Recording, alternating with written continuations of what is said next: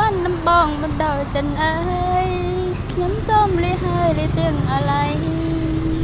តាំងពីរូបខ្ញុំបានឃ្លានទៅឆ្ងាយអូខេបានហើយបានហើយ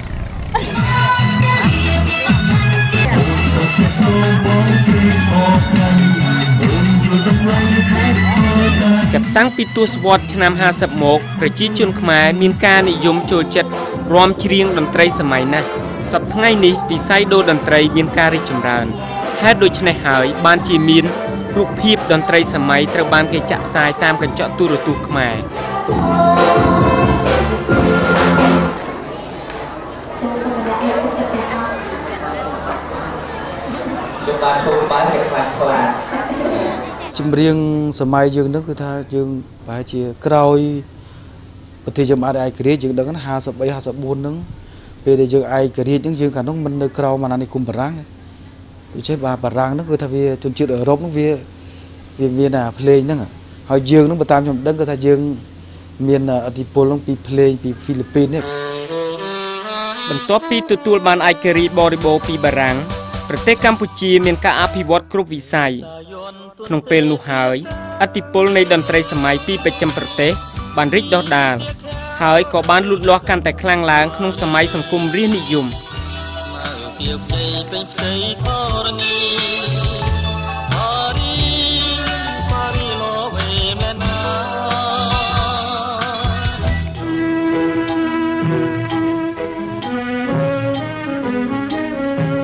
នៅក្នុងទសវត្សរ៍ទី60នោះហើយ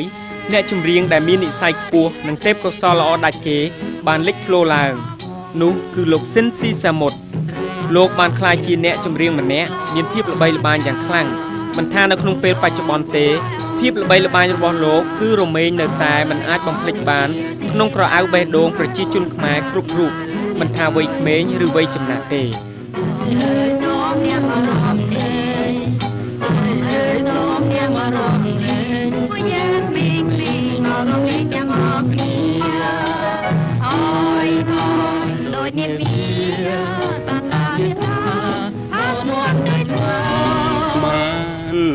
ភ្លេច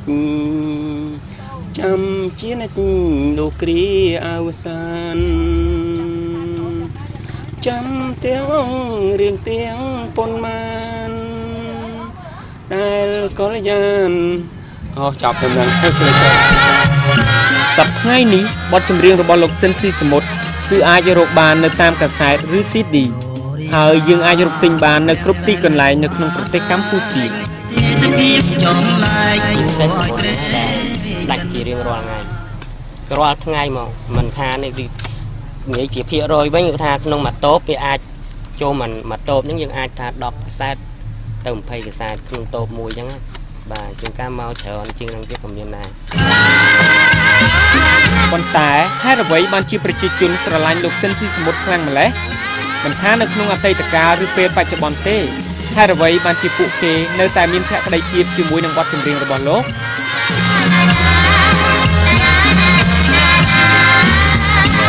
អឺព្រោះថាបទលោកស៊ិនស៊ីសមុទ្រមានន័យមានន័យឲ្យដូចថាមានទឹកដមសំនៀងព្រោះអឺខ្ញុំចូលចិត្តលោក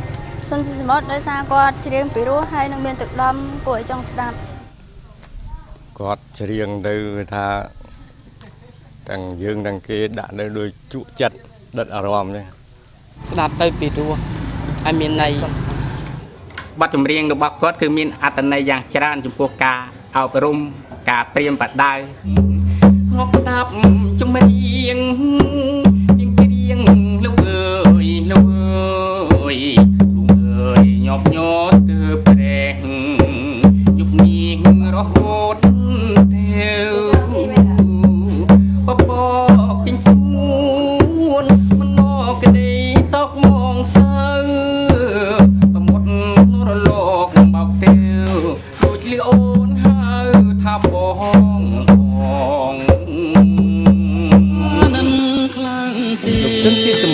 ជានិច្ចកាលតែងតែមកថតសម្លេងជួនកាលលោកនិពន្ធដោយផ្ទាល់នៅឯស្ទូឌីយោវិទ្យុជាតិកម្ពុជាលោកធ្វើការសមបទចម្រៀងតែមួយដងឬពីរដងទេមុនពេលលោកដើរចូលទៅក្នុងបន្ទប់ថតសម្លេងហើយការថតលើកទី1របស់លោកគឺល្អរួចជាស្រេច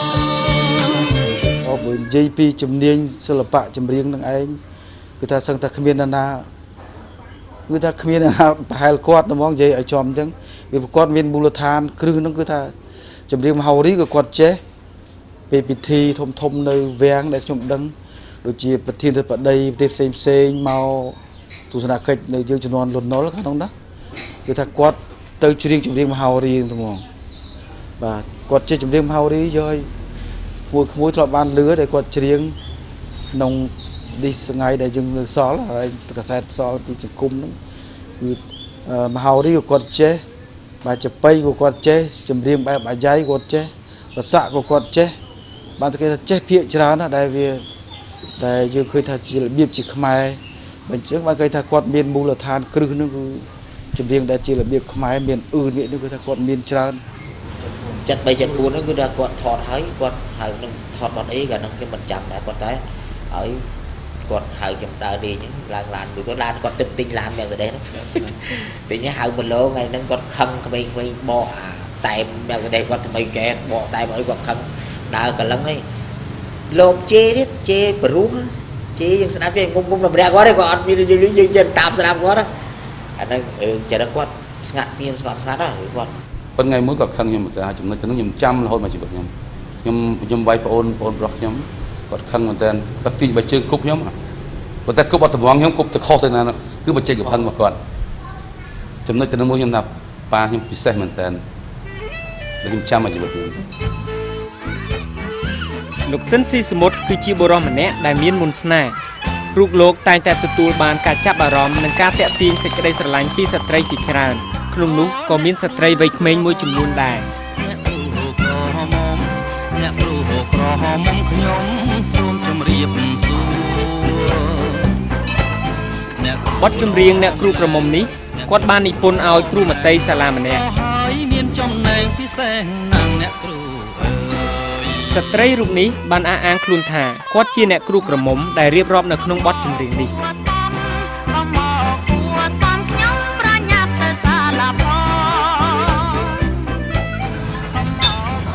ម៉ោង11កន្លះខ្ញុំនាំសិស្សចេញពីទីសាលាឆ្លងខ្នល់លោកសមុទ្រជិះឡានវល់ដែន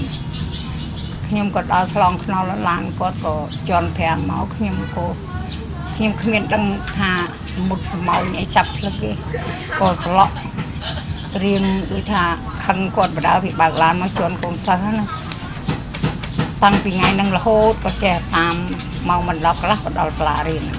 មកដល់មកសាលាកន្លះដល់វត្តអាស្លាមតៃហ្នឹងអាហ្នឹងជាការគាត់លួងលោមខ្ញុំពីមុនដំបូងណាបត់ដែលខ្ញុំចូលចិត្តជាងគេគឺបត់ គេកើយទ្រូមកណាប្រលឹង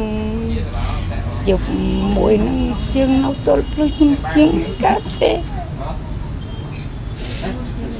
ខ្ញុំជាងកើតទេក្មួយទៅកណាក៏ខ្ញុំនឹកខ្ញុំចាំប្រាំបេតូពួនតែបាត់គាត់ចាមែនតែប្រោះទី1ដែលខ្ញុំស្រឡាញ់ជាងគេនៅក្នុងលោកនេះ ខ្ញុំជាងដល់